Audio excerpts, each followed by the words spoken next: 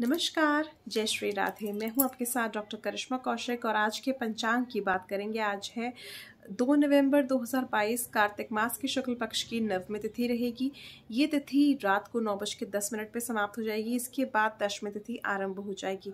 नक्षत्र धनिष्ठा रहेगा। देर रात्रि एक बज के तैतालीस मिनट तक, जबकि तीन नवंबर लग चुकी होगी। इसके बाद शतभिषा नक्षत्र आरंभ हो जाएगा। राहुकाल का समय रहेगा बारह बज के दस मिनट से लेकर के दोपहर के एक बज के तैतीस मिनट तक का। तो इस दौरान आपको किसी भी प्रकार का मांगलिक कार्य नहीं करना है। चंद्रमा दोपहर के दो बज के सोलह मिनट तक मकर राशि में रहेंगे, इसके बाद जो है कुंभ राशि में प्रवेश कर जाएँगे। दिन बुधवार का रहेगा, इसीलिए आज के दिन भगवान श्री गणेश जी की उपासना करना बेहद ही खास रहता है। अगर आपकी कुंडली में बुध कमज़ोर है तो आज के दिन ग्यारह दुर्वा की गांठें भगवान श्री गणेश जी को अर्पित करें।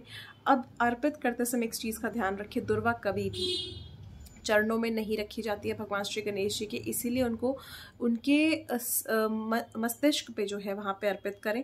और साथ ही साथ आज के दिन जो है आप लोग हरी वस्तुओं का दान करें। ऐसा करने से कुंडली में बैठा हुआ बुध भी मज़बूत हो जाता है।